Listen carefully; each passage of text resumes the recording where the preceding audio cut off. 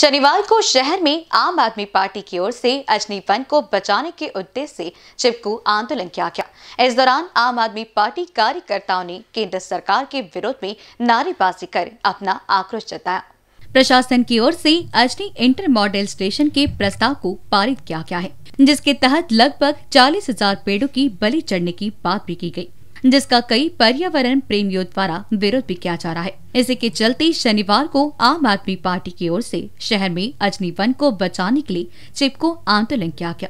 आम आदमी पार्टी के विदर्भ संयोजक देवेंद्र वानखेड़े और पार्टी के कोषाध्यक्ष जगजीत सिंह के नेतृत्व में किए गए इस आंदोलन में कार्यकर्ताओं ने नारेबाजी कर अपना विरोध ज़ाहिर किया। ये जो प्रोजेक्ट नागपुर में आया मल्टी मॉडल हब ये प्रोजेक्ट एक्चुअल में सिटी के बाहर होना चाहिए। जो यहाँ की समिति ने इन्होंने इनको प्रपोज किया था कि ये मिहान में प्रोजेक्ट होना चाहिए जहाँ पे जगह भी है आ, हमारी मेट्रो भी वहाँ पर जाती है और जो भी लॉन्ग डिस्टेंस की बसेस है वो बाहर से सिटी के बाहर के बाहर से निकल जाएँगी।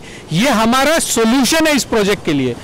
अब सोल्यूशन होते हुए इन्होंने यहाँ पे इतने पेड़ काटने का डिसाइड किया है। तो हम लोगों को ये समझ में नहीं आ रहा है कि ये क्यों करना चाहते हैं।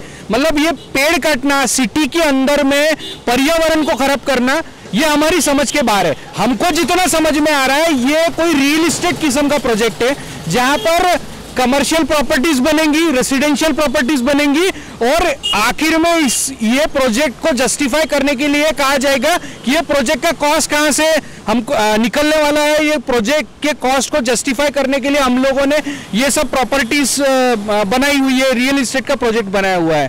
तो ये एक्चुअल में मल्टी मॉडल हब वाला प्रोजेक्ट नहीं है। ये एक रियल इस्टेट प्रोजेक्ट है। इस दौरान पार्टी कार्यकर्ताओं का कहना था कि उनका विरोध इंटर मॉडल स्टेशन को नहीं है, बल्कि वे चाहते हैं कि इस मॉडल को शहर के बाहर किसी अन्य जगह पर बनाया जाए। आम्ही आज चिपको आंदोलन केलेलं आहे झाडाकरता हे झाड म्हटलं म्हटलं की श्वास मिळतो सर झाडांनी आम्ही पाहून राहिलो की हे कोरोना का काळामध्ये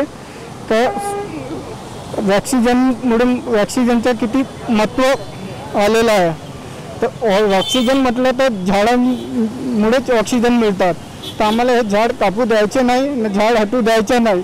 हालाँकि जितकं बनते तितकं झाडं लावण्याचा प्रयत्न करायचे आम्हाला है आज हम यहाँ पर अजनी वन को बचाने के लिए एकत्रित हुए हैं।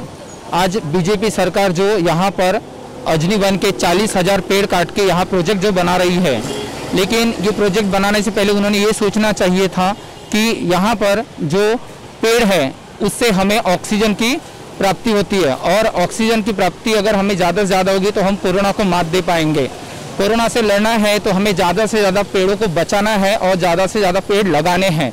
एक और जहाँ पाँच जून को पर्यावरण दिन मनाया जा रहा है, वहीं दूसरी ओर विकास के नाम पर शहर में पेड़ों की बलि दी जा रही है। कैमरा पर्सन माइकल रामपुरी के साथ दिशा हटवार की रिपोर्ट।